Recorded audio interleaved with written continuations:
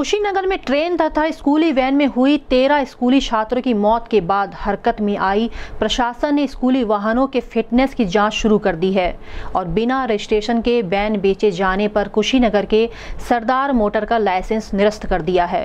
इसी के मद्देनजर मान्यता प्राप्त, गैर मान्यता प्राप्त स्कूलों से चलने वाले वाहनों को सही रिपोर्ट नहीं देने पर मंडलायुक्त अनिल कुमार ने संभागीय परिवहन अधिकारी डी मिश्रा का वेतन रोकने का आदेश जारी किया है। उन्होंने मुख्य कोषाधिकारी को निर्देश दिए हैं कि अगले आदेश तक उनका वेतन निर्गत नहीं किया जाए।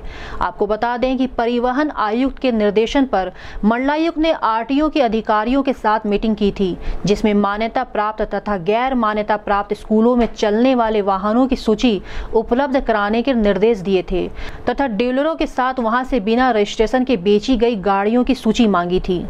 लेकिन संभागीय परिवहन अधिकारी प्रबंधन और प्रशासन डीडी मिश्रा ने इसे गंभीरता से नहीं लिया, जिससे उनके सत्यनिष्ठा को संदिग्ध मानते हुए मंडलायुक्त अनिल कुमार ने डीडी मिश्रा का वेतन रोकने का आदेश जारी किया है।